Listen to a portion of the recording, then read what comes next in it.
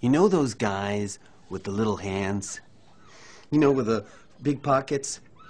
You know, with a little version of themselves in the front pocket. Kangaroo. Yeah.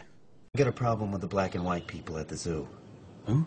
You know, the black-eyed Chinese people that eat sticks? The pandas. Oh, I'm Howard Moon. I know how to read. I know all the animals' names at the zoo. Yeah, the panda. Now, our first stop today on the tour is the largest animal in the zoo, the gray leg face man. What?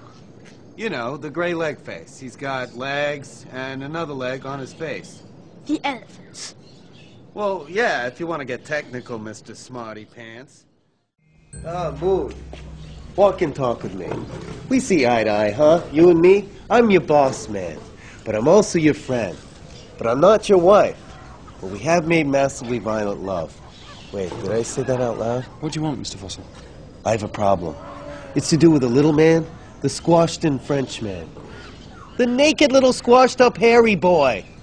You know, with the hand feet. The brown little hand foot man? The gorilla. Yeah. Make something up, you prick. Tell him he got eaten by the python. The who? The windy man, the long mover. Oh, yeah.